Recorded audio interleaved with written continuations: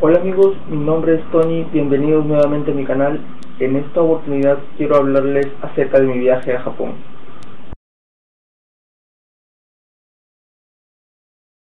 Hace unos días uh, recibí la confirmación de que finalmente estoy viajando para Japón, me voy en dos meses exactamente y quiero aprovechar este tiempo para compartir con ustedes algunos preparativos que pienso realizar previos a este gran viaje. Número uno, eh, me siento un poco desconcertado acerca de la cultura y la vida en este nuevo país. Eh, para ello he estado revisando muchos foros, eh, algunos muy útiles, otros muy negativos, pero que ayudan al fin y al cabo a poderme hacer una idea de cómo es la vida en Japón. El otro punto es el cambio de horario.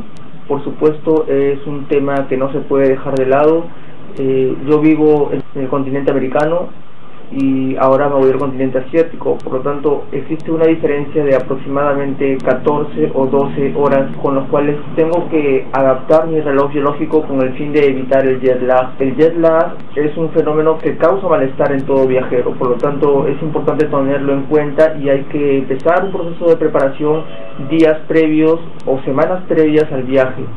Eh, como todavía tengo relativamente bastante tiempo, eh, espero poder empezar a adaptar mi cuerpo una semana antes de mi viaje, eh, empezando una rutina de sueño-vigilia desfasada de una de mi rutina diaria, es decir, empezar a dormir antes de mi horario normal, empezar a dormir a, la, a medianoche, al día siguiente a las 10 de la noche, al día siguiente a las 8 de la noche, con el fin de poder adaptarme a este nuevo horario ya que al momento que yo llegue a Japón, sea de día allá, aquí va a ser de noche. Y este cambio de horario requiere de este tiempo de, preparar al cuerpo para evitar este posible cansancio físico y también un cansancio mental. El tercer punto, y creo que también es importante, es acerca de la comida. Por supuesto que la alimentación es universal, pero la forma de alimentación y los alimentos que estamos acostumbrados a comer definitivamente son diferentes de un país a otro y mucho más aún de un continente a otro. Y a eso hay que sumarle también eh, los cambios culturales. Por lo tanto, tener una dieta balanceada, por lo menos durante los primeros días de mi estancia en Japón, van a ser muy importantes, para lo cual estoy tratando de conseguir algunas recetas eh, caseras o llevar alimento en conservas para poder eh, mantener mi dieta saludable al menos durante los primeros días mientras me tome el tiempo de adaptarme a la nueva rutina dietaria. Otro punto a tomar en cuenta creo que son tiene más que ver con el contexto social y, cultural.